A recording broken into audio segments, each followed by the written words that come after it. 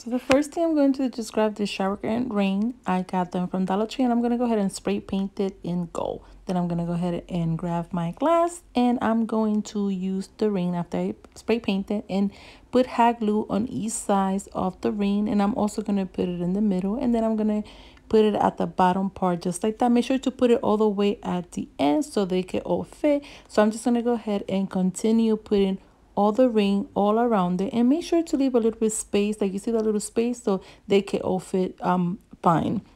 Then continue just um placing your ring all the way around. Then i went ahead and got this little rhinestone and i'm just going to place it in the middle of each ring like that. Then go ahead and grab this candle holder and place it on top to attach it. And this is how beautiful it turns out you guys. It came out so beautiful.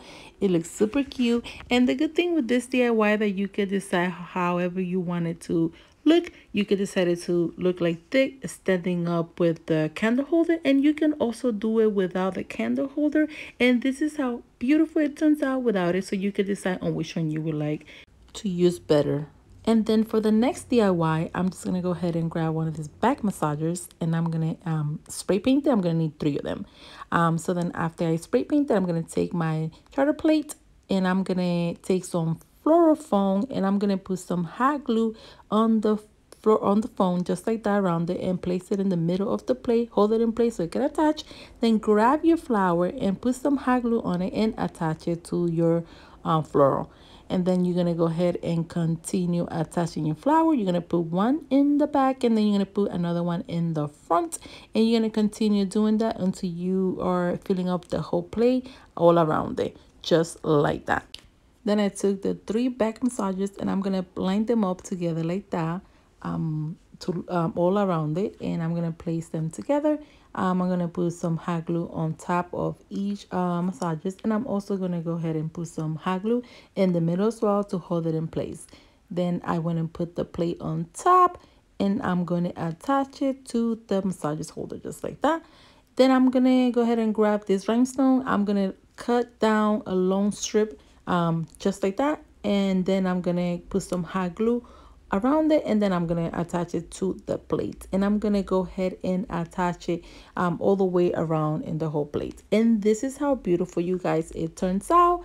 And here after I did that I'm just to place my glass in the middle and I put some um, rocks and then I put my candle. And this is how beautiful you guys it looked during the day. Um, it could I didn't record um, how it looks just without uh, during the night with the light but it came out so beautiful you guys and for the next DIY that I'm going to do I just went ahead and grabbed one of these um bath mats uh, for the bath and I'm gonna go ahead and spray paint it in gold but before that I'm gonna take uh, a long glass from Dollar Tree and I'm going to also use a small one. And here I'm going to go ahead and grab my hot glue and I'm going to go ahead and attach it. But make sure you use E6000 for better attachment. I'm using the hot glue just for the purpose of the video. So then after I went ahead and attach it, I'm going to take my mat and I'm going to place it at the bottom and then I'm going to place the glass on top and then I'm going to go ahead and hold it like that and I'm going to attach it but before I attach it, as you can see in the video, I'm going to go ahead and put it all the way. I tried to do it like that, but it doesn't work like that. You're going to go ahead and put it all the way to the top. So you got to overlap the glass like that. So you're just going to go ahead and continue attaching it until you attach um, that size all the way to the bottom.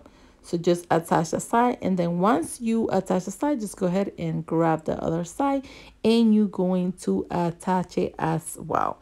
And here, I'm going to show you at the end, you're going to have to end up cutting it. Then I went ahead and grabbed my scissor and I'm going to cut all the extra that I had on the top. So just go around it and cut and cut all the extra one. And also at the bottom part, just go around it and also cut it. And then you see in here, you will have to cut one strip before you attach it. Do that. Cut one long strip because you don't want it to overlap on top of each other. And make sure to attach first the piece that you cut so you could put the other one on top and it will look nice and not the one that you cut. Don't put it on top like I did. Make sure um, to put the one that you cut at the bottom and then you put the other one on top. And this is how beautiful you guys it turns out. It came out so cute. I loved it how it turns out. I will be also be making another DIY with this um, mat um, for home decor. So please stay tuned and subscribe so if you want to see that as well. Thanks again for watching Special Creations by Nelly. And let's not forget to hit the subscribe button and also hit the little bell if you're gonna get if you want to get notified every time I post a video. Thanks again for watching Special Creations by Nelly.